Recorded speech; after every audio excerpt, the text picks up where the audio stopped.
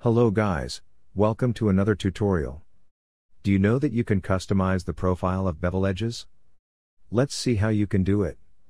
First, select the object and press tab to enter in edit mode. Now, select the edge that you want to bevel. Press Ctrl plus B to create the bevel and increase the size of it. Open bevel options and increase the amount of segments. More segments will give you more detail on the profile. Next, on the bottom of the menu click on Custom, and create the shape that you want.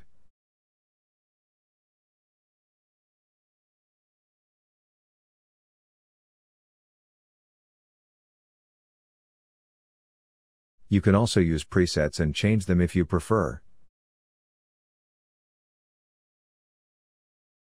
That is it. Thanks a lot for watching.